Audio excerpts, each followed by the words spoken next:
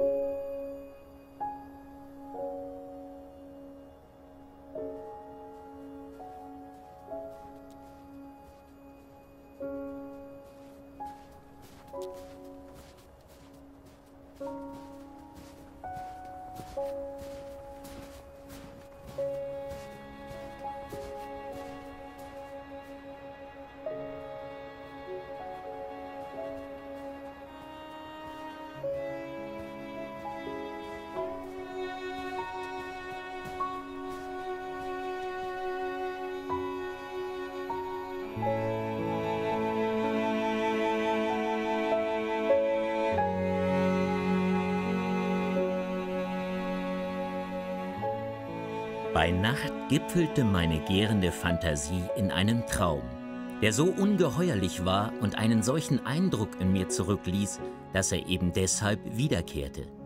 Mir war, als hätte der liebe Gott zwischen Himmel und Erde ein Seil ausgespannt, mich hineingesetzt und sich daneben gestellt, um mich zu schaukeln. Nun flog ich denn ohne Rast und Aufenthalt in schwindelerregender Eile hinauf und hinunter.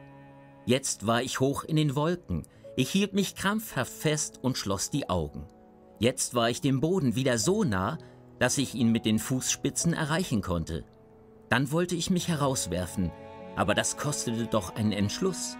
Und bevor es mir gelang, ging's wieder in die Höhe, und mir blieb nichts übrig, als abermals ins Seil zu greifen, um nicht zu stürzen und zerschmettert zu werden.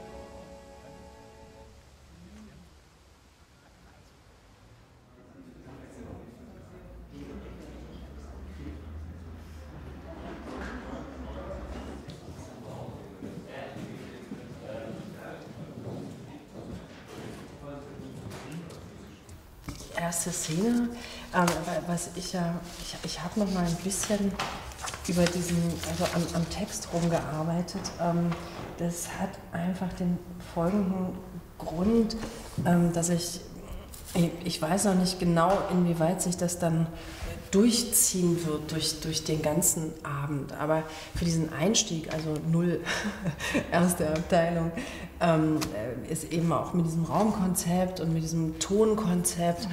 ähm, mir total wichtig, dass das sowas wie so ein szenisches Gedicht wird. Und Kriemhild und Ute stehen hier